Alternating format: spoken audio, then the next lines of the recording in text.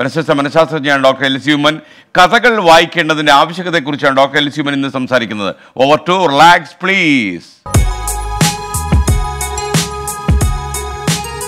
കഥയിലും കാര്യമുണ്ട്. പുതുതലമുറയ്ക്ക് അധികം പഥ്യമല്ലാത്ത ഒന്നാണ് വായനാശീലം എന്നത്. പാഠപുസ്തകത്തിന്റെ അപ്പുറമുള്ള വായനകൾ ഇന്ന് കുറഞ്ഞു തുടങ്ങിയിരിക്കുന്നു. കഥ വായിക്കുന്ന വായനക്കാർ ഇന്ന് കുറഞ്ഞു വരികയാണ്. എല്ലാവർക്കും താല്പര്യം കഥ മെനക്കെട്ടിരുന്ന് വായിക്കാനല്ല പ്രത്യുത ദൃശ്യശ്രാവ്യ മാധ്യമങ്ങളിലൂടെ കാണുവാനും കേൾക്കുവാനുമാണ്. സത്യത്തിൽ ഈ കഥ വായിക്കുന്നതിൽ എന്തെങ്കിലും പ്രയോജനമുണ്ടോ? ഇതൊക്കെ ഭാവന സൃഷ്ടിയല്ലേ?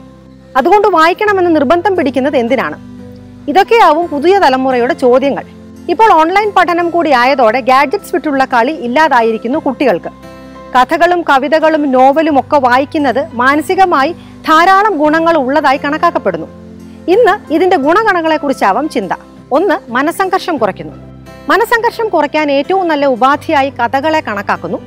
കഥകൾ വായിക്കുന്ന അത്രയും സമയം നാം കഥാപാത്രങ്ങളോട് അനുരൂപപ്പെട്ടിരിക്കുന്നതിനാൽ നമ്മുടെ മാനസിക സമ്മർദ്ദത്തിൽ നിന്നും ശ്രദ്ധ തിരിച്ച് സമ്മർദ്ദമാക്കാറ്റാൻ ഒരു മാർഗമായി ഇതിനെ കണക്കാക്കുന്നു. വെറും ആറ് മിനിറ്റ് വായിക്കുമ്പോൾ അറുപത് ശതമാനം സ്ട്രെസ് കുറയുന്നതായും ഹൃദയമെടുപ്പും ദേഷ്യവും പിരിമുറുക്കം കുറയ്ക്കുകയും മൂട് വ്യതിയാനങ്ങൾ വരുന്നതായും പഠനങ്ങൾ തെളിയിക്കുന്നു. രണ്ട് നല്ല ഉറക്കം. നല്ല നിലവാരമുള്ള ഉറക്കത്തെ പ്രദാനം ചെയ്യുന്നതിന് കഥ നോവൽ സാഹിത്യ വായനയ്ക്ക് കഴിയും. കാരണം ഉറങ്ങുന്നതിന് മുൻപ് അല്പം വായിക്കുന്നത് നമ്മുടെ ആ ദിവസത്തെ സമ്മർദ്ദം കുറയ്ക്കുകയും അതുവഴി നല്ല ഉറക്കത്തെ ലഭിക്കുകയും ചെയ്യുന്നു.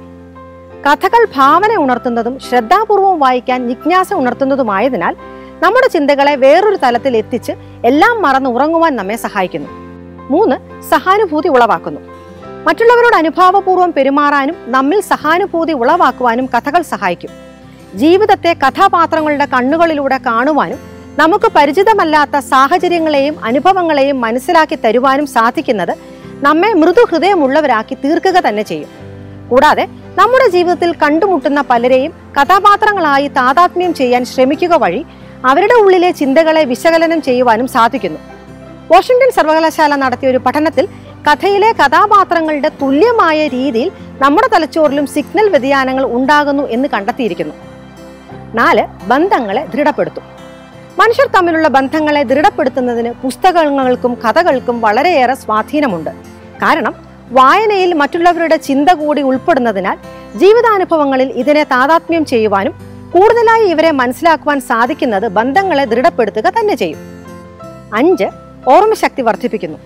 വായന ഒരു മാനസിക ബൗദ്ധിക അഭ്യാസമായതിനാൽ അത് ബുദ്ധിമണ്ഡലത്തെ ഉണർത്തുകയും തലച്ചോറിലെ കോശങ്ങളുടെ നാശം തടയുകയും ചെയ്യും. പ്രായമാകുമ്പോൾ ഉണ്ടാകുന്ന ഇത്തരം പരിണാമപരമായ കോശനാശങ്ങൾ തടയുവാനും വായന ഉത്തമ ഔഷധം തന്നെ.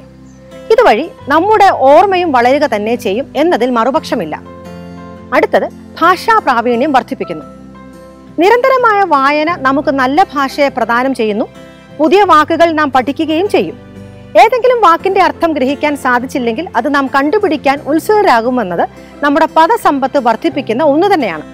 ഇപ്രകാരം അനേകം മാനസിക ബൗദ്ധിക ഗുണങ്ങളുള്ള കഥാവായന നാം പ്രോത്സാഹിപ്പിക്കേണ്ടത് തന്നെയാണ് എന്ന് ഓർമ്മിപ്പിച്ചുകൊണ്ട് നിർത്തുന്നു. നന്ദി.